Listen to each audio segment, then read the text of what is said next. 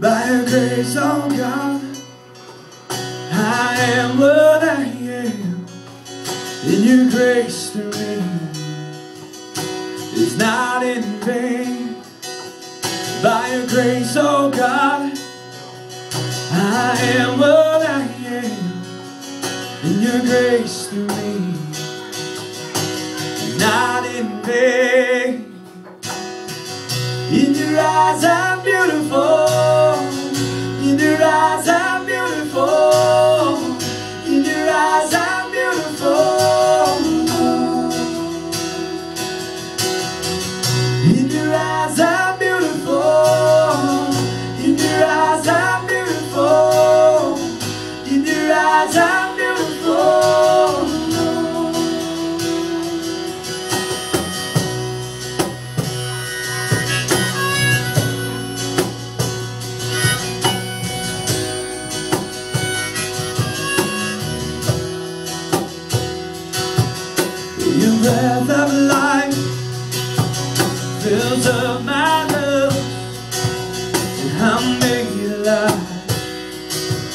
By your gracious love.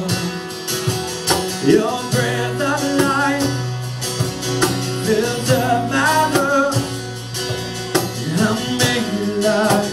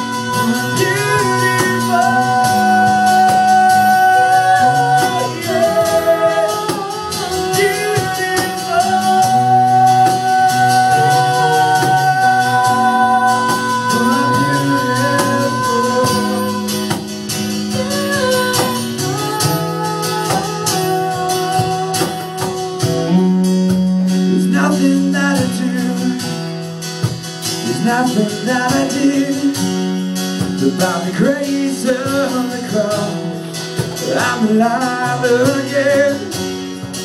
Oh, it's nothing that I do.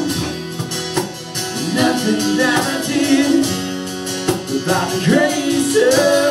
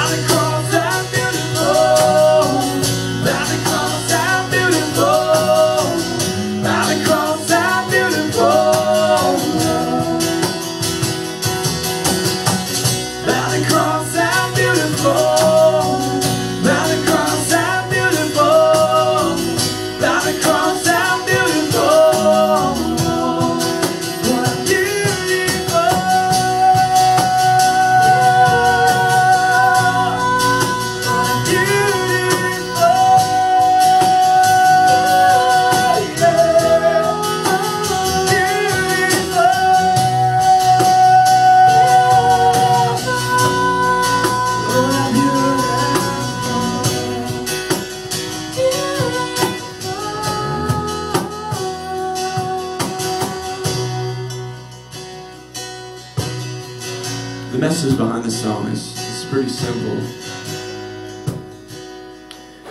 We've all got junk in our lives. We've all been thrown curveballs many times. Like for me, you know, the biggest thing that ever really happened is when I, when I was three and a half years old, my father was murdered. And uh, it really wasn't until I was in my teenage years that uh, I really started being angry at the Lord about the circumstances that He put me in, the things that I've been drugged through. And I began to question, you know, whether or not God really did love me. And this lasted, you know, through the early part of my college years. I was going to church and I was seeking, but I was just really angry and frustrated and depressed inside. And one day I sat down to try to write a song for my then girlfriend, now wife, who's sitting over there, who was struggling, you know, with um, some self-confidence issues as well. And, and the line that God gave me was, in your eyes, I'm beautiful. And what it is, is, is we're looking up to him and saying, Lord, not, not because of anything that I've done, not because of anything that I can do, but simply because you died for me and you rose from the grave and you gave me away.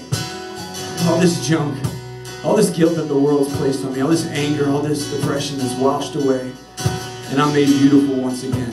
So no matter what this world tells you, no matter what an individual tells you, no matter what the circumstances of your life may be, you're a beautiful child of the living God. So I'm going to sing that chorus once again. And if you feel like singing it, go ahead, just reach down and sing it.